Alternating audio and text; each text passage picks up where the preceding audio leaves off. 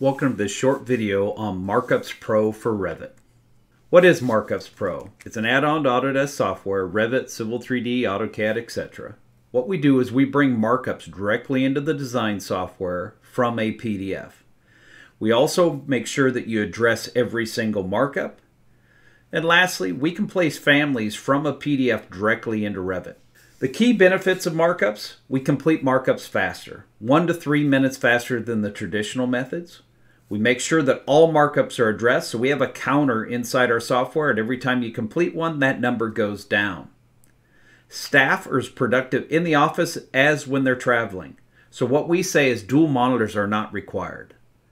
And lastly, we enable non-Revit users to utilize the design elements. What we do here is we can place Revit families directly into Revit from a Bluebeam PDF. Here you can see I'm inside Revit. So the whole idea behind this software is we want to keep your focus inside Revit and not taking it off onto another screen looking at a PDF. So we were going to bring these markups directly into Revit. So all we do is we come up here to the markups ribbon. We're going to select Navigator. The Navigator panel comes up. We're going to click on the green plus sign here and we're going to load in a PDF. So I'm going to load the PDF. And as you can see there, it loaded 45 markups. Okay. So this is what's called our list view. If you click on any markup, it'll automatically load the correct sheet, it'll zoom to the location, and display the markup. Once the sheet is loaded, it's very responsive if you jump to the next markup inside that same sheet. We also give the ability to filter out all the markups on the one sheet, and we can display them all at one time so you can see how much work you actually have to do on the one sheet.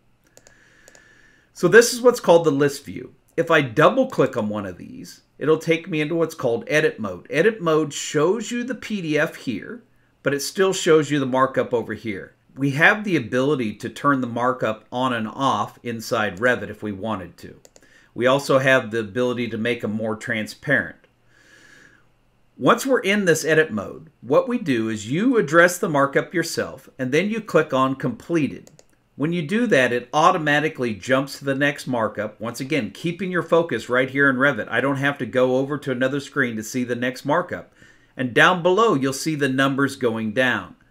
If I fix this one, I go completed, and the numbers keep going down. That way you're assuring that you're addressing every single markup. I'm going to go ahead and get out of edit mode. If I come on down here, you'll start seeing these icons here. I'm going to filter out the other markups. I just want to show you those. What these are is where you can place a family in the model. So you can see here I got a table, we've got some beds in here, there's a chair. If I'm going to click on this chair, you'll see the chair over here. Once again, I can turn that on and off.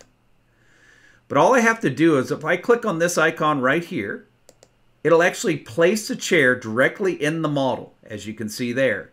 I can go on to the next one. You can see this chair, it's rotated. I'm going to go ahead and click on this. I'm going to place that directly in the model also. And lastly, I'm going to show you a polyline. This is just a polyline that was drawn in Bluebeam. But if I hover over this icon, you'll actually see it says Basic Wall Interior. I can click on that and it'll actually create a wall for you. This concludes this short video on MarkupX Pro for Revit.